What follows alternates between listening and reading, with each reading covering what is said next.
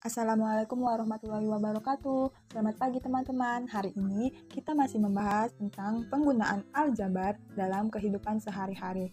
Kali ini topiknya yaitu tentang keuntungan dan kerugian.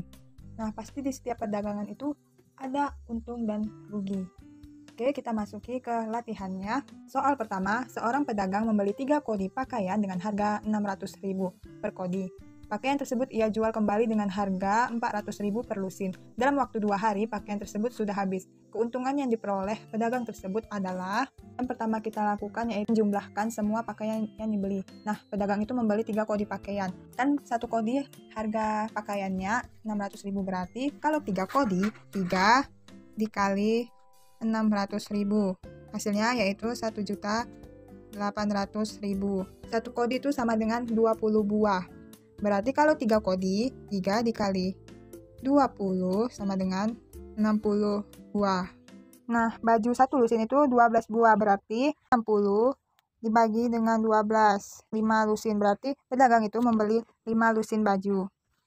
Nah, pedagang itu menjual kembali pakaiannya seharga 400.000 per lusin, berarti kita kalikan saja 5 dikali 400.000.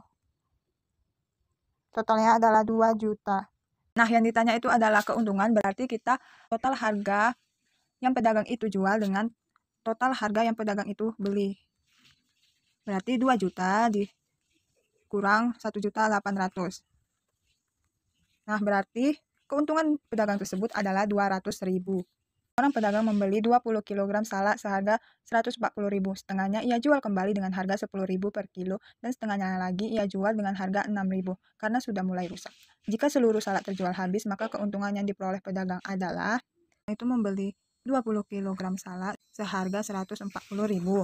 Nah, salak yang dijual kembali yaitu setengahnya berarti setengah dari 20 adalah 10 kg dikali dengan 10.000.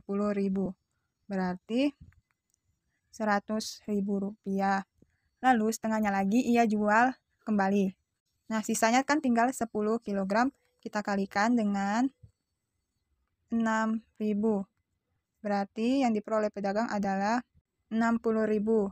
Nah, keuntungannya diperoleh pedagang itu berarti kita kurangkan harga salak yang dijual kembali dengan harga salak yang dibeli oleh pedagang.